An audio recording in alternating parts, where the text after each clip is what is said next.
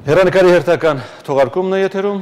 Շատերը կհամաձայնեն, որ Ալեքսանդր Բոշկոին պիտի տարանջատել Հայաստանում դիվանագիտական առաքելություն իրականացնող մյուս պաշտոնյայից։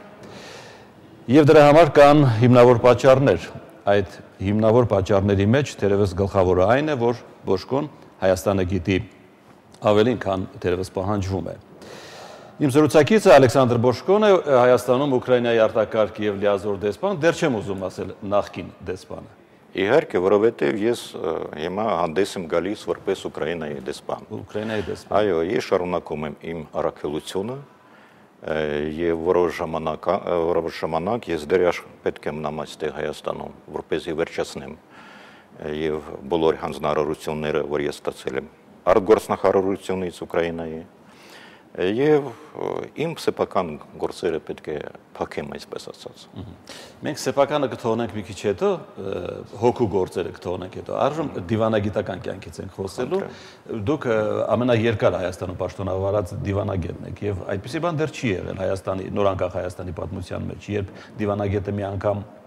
ավարտի իր առաքելությունը եւ հետո նորից վերադառնան նույն երկիրը Ինչն էր այստեղ դրա հիմնական պատճառը, որ դուք հայերին լավ գիտեք, հայերեն լավ գիտեք, հայագետ եք, Հայաստանը սիրում եք, թե կան նաև քաղաքական դրդապատճառներ։ Ես մտածում եմ, որ թե մեկը եւ թե մյուսը։ Նախ եւ առաջ ես իհարկե որպես հայագետ աշխատել եմ Ուկրաինայում, մինչև իմ աշխատանքը արտգործնախարարությունում։ Հետո երբ որ ես ինձ հրավիրեցին աշխատել արտգործնախարարությունում որպես վարչության պետ դե այն ժամանակ ուշադրությունն էին դարձնում այն մարդկանց վրա, որոնք գիտեն տարբեր ժողովրդների լեզուները։ Եվ այս դեպքում իհարկե դա շատ կարևոր է գործոնը, որ դեսպանը գնում այն երկիր, որի լեզուն գիտի եւ ընդհանրապես մարդկանց ճանաչում մշակույթը, որովհետեւ դա շատ հարկավոր է։ Բացի դրանից իհարկե հարկավոր է, որ եթե գնում ես այդ երկիր, տվյալ դեպքում Հայաստանը, ապա պետք է մարդ գնա, որ հարկի այդ ժողովուրդը, հարկի այդ մշակույթը, պետությունը ընդհանրապես։ Այդ տեսակետից երևի ես այդպիսի անձնավորություն եմ եղել այն ժամանակ, որովհետև իրոք ես կապված եմ վաղուց Հայաստանի հետ։ Դեր 70-ական թվականներից սկսած ես արդեն թարգմանում եի հայերենից հայ գրականությունը Ես գրում էի Հայաստանի մասին ավելի քան 100 հատվածներ կան Հայաստանի մշակույթի, պատմության եւ այլն այլն։ Եվ այդ պատճառով, երբ որ ես աշխատում եմ առգործնախարարությունում, դա շատ էր եկնում։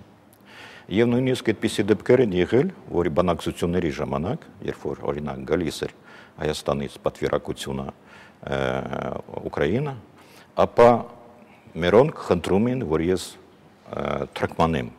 որովհետև ընդունված է այդպես, որ որոշ բանակցությունների որոշ հատվածը պետք է լինի տվյալ ժողովրդի լեզվով։ Եվ լինում էր այդպես, որ նույն, նույնպես հայկական կողմը խնդրել է, որ ես ուկրաիներենից հայերեն եւ հայերենից թարգմանեմ։ Պարոն Բոշկա, թեև ես ենթադրում եմ, որ այլևս բացառվում է, որովհետև նոր դեսպանի անունը արդեն հայտնի է, կարծես թե։ Հայտնի, հա բայց կարող է իրավիճակային այնպեսի փոփոխություն լինել, որ ձեզ երրորդ անգամ առաջարկեն։ Չէ, գիտեք ինչ։ Ներողություն, ես այդ հարցին չեմ տալիս։ Քաղաքական երկխոսության հետ որևէ կապ ունի, ասենք Ուկրաինայի իշխանությունը փոխվել Հայաստան։ Որ դուք ճիշտ եք ասել, որ ես բավականին երկար եմ աշխատում այստեղ։ Ընդհանրապես մեզ մոտ ընդունված է, որ դեսպան արտասահմանում աշխատում է 4 տարի։ Ну, որպես բացառություն 5 տարի ահա լրանում է իմ իմ տարին աշխատելու Հայաստանում։ Այնպես որ դա նորմալ գործընթաց է եւ ես պետք է ասեմ, որ ես գոհ եմ, որ աշխատել եմ Հայաստանում եւ երբ որ վերադառնամ Ուկրաինա ես երևի ինքս ինձ կասեմ, որ այնինչ որ դու կարողացել ես անել, անել, դու արել ես։ Եվ իմ արածից ես չեմ ամաչում հակառակը հպարտանում եմ, որ այս տարի բավականին բայց բարդ տարիների ընթացքում, 5 տարիների, մենք ապահովել ենք նորմալ փոխհարաբերությունները Հայաստանի հետ։ պատկերացրեք ինչ բարդ տարիներ են եղել 5 տարի։ Նախ եւ առաջ Հայաստանում փոխվել է իշխանությունը։ Մենք երբ որ ես գալիս էի ստեղ որպես դեսպան, ես իմ հավատարմագրերը անձնում էի պարոն Ռոբերտ Կոչարյանին։ Հիմա պետք է իմ հատկա հետ կանչագիրը պետք է հանձնեմ արդեն նոր նախագահ պարոն Սերժ Սարգսյանին։ Բացի դրանից մենք ձեզ հետ ապրել ենք այդ ճգնաժամը, որ բացասական կերպով արտացոլվել է մեր փոխհարաբերությունների վրա եւ կարողացել եք դիմանալ, կարողացել կարողացել եք որոշ չափով չեզոքացնել այդ հարվածը մեր փոխհարաբերությունների վրա։ Պարոն Բոշկա, Ուկրաինայում էլ է իշխանությունը փոխվել։ Հիմա դա կարելի է ենթադրել, որ քաղաքական երկխոսությունը Հայաստանի եւ Ուկրաինայի երկխոսությունը, երկխոսության աստիճանը, տոնայնությունը նույնպես պիտի փոխվի։ Արդեն փոխվեց